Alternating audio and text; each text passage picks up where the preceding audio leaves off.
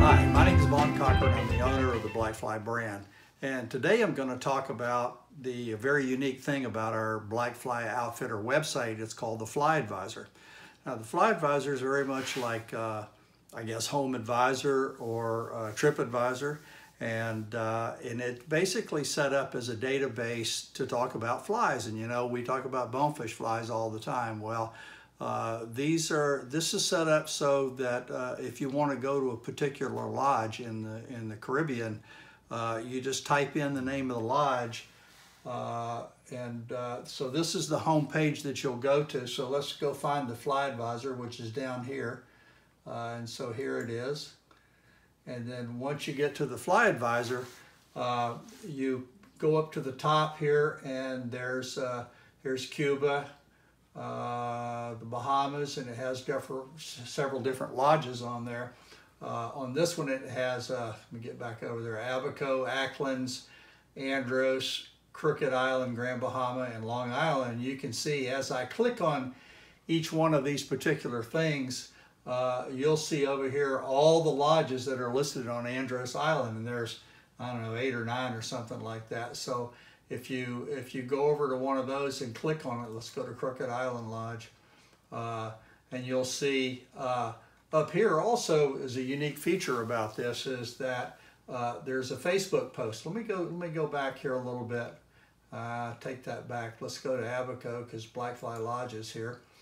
And uh, as it loads, you'll see over here is the uh, Facebook post. So it gives people an opportunity to give feedback. And so this is, the whole purpose of this is kind of a pay it forward situation. So if you've gone to a lodge uh, and you use certain flies, what we'd like you to do is to uh, come onto this, come onto this page and click on the Facebook part of it and talk about the flies that you use. I think you can even put a picture on there.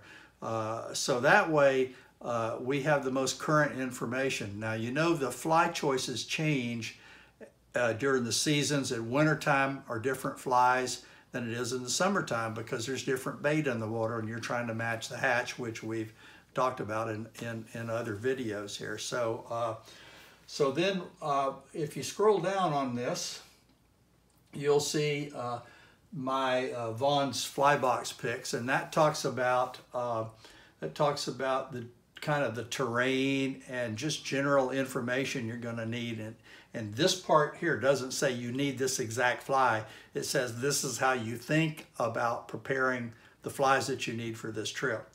Uh, down here on this lower part, we talk about specific flies, and these are the top four flies, and there's maybe even six flies, but these are the top four that we've come up with that you probably should have and we know that work and it's been recommended by many people. Uh, right here we make a little statement about we do custom fly kits and we use all this information from the uh, different lodges, the lodge managers, uh, people that have come and gone, our own experience from having been to most of these lodges so we can put together a nice fly kit for you depending on your length of stay and uh, how many people need the flies. Below that is just a general category. We have all of our bonefish flies, permit flies, redfish and trout flies, and tarpon flies.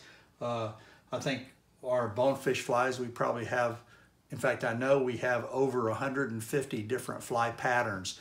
Not flies, fly patterns. And in each one of those, we have dozens of each of them. So you got, got quite a selection there. So if you're looking for anything, we pretty much have it covered.